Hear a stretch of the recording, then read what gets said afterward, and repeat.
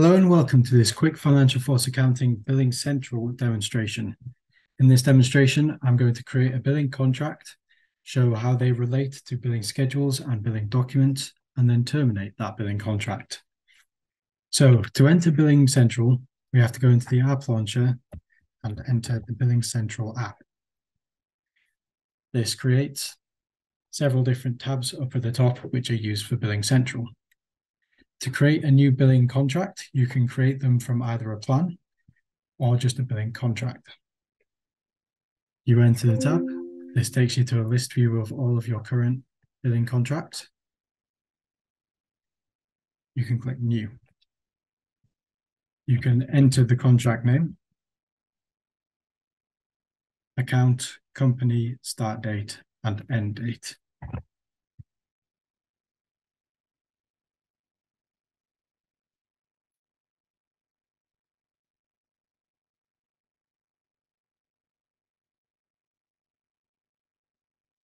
You can also have the first bill date, which is the date in which you will create your first billing document.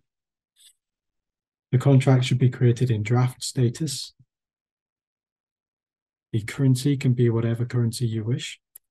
I'm going to make this GBP.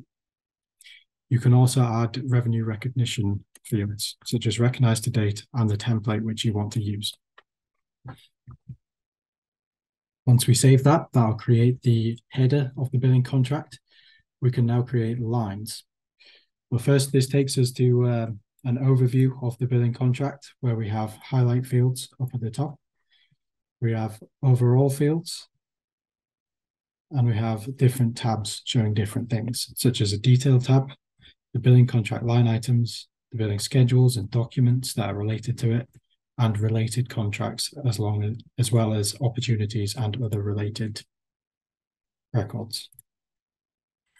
So now to add billing contract line items, go to the billing contract line items tab and click add. We now must choose a price book.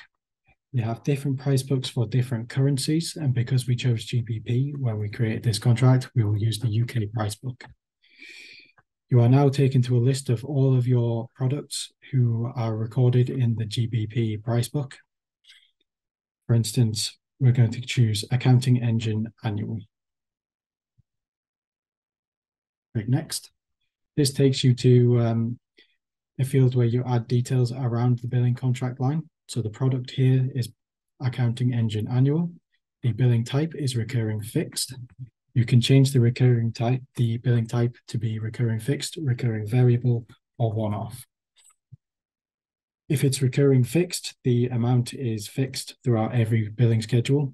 Recurring variable, the amount may vary depending on usage records and one-off will bill only one-off when the first bill date is reached.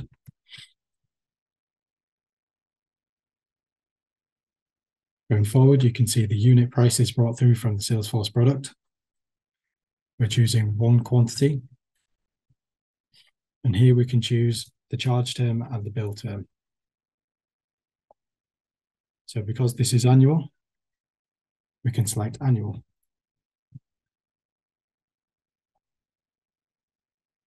You can change these soft dates to be whatever you want. For instance, you can choose monthly and even weekly.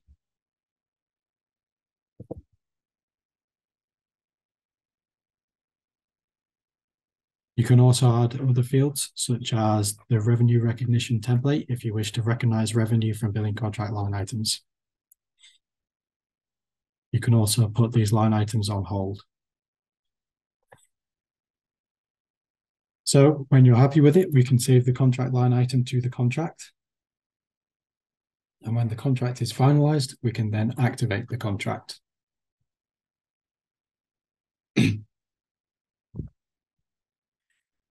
this puts the contract in force. Therefore, you cannot add or take away any billing contract line items. After this, we will need to generate some billing schedules. So Billing Central knows when to create billing documents and how much to create them by.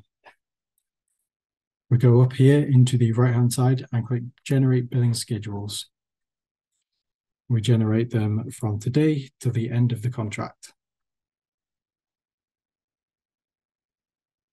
This will run a job in the background. It may take a few seconds to complete, so I'll just quickly refresh the page.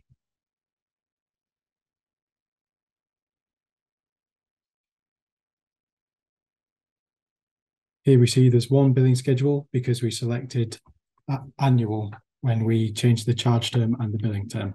Therefore, we're only charging annually. That's for this one contract line item, and it's now related to this billing document line item. As you see, when we've created the billing schedules, it has also created the first billing document that you will bill with this contract. If we enter the billing document, we can see that the document status is in draft. It has line items and also details such as document date, document due date, and totals. When you're, when you're happy with it, you can complete this billing document and then you can run the background posting scheduler to post it and you can send it off to your client. If your client wishes to terminate the contract, you can go to the contract record within your Salesforce environment and you can click the end contract button. We will end the contract for tomorrow's date. And you can just end the contract there. This will create a change request, which will then need to be applied to the billing contract. This can be done by clicking apply to contract.